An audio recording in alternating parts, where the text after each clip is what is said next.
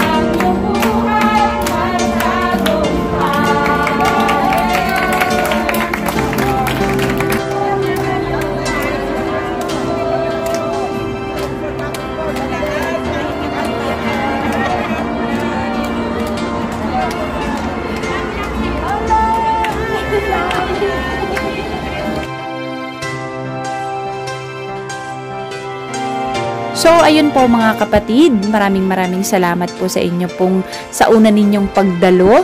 Nung first timer pa lang kayo hanggang sa bumalik kayo, naging solo, return kayo at naging potential member at sa mga ilang buwan din ninyong pagbabalik ay naging, ito na nga, ay naging official po na naging uh, member na po kayo ng JIL Lamtin at maraming maraming salamat po sa inyong pagpaunlak sa unang araw na dumating kayo.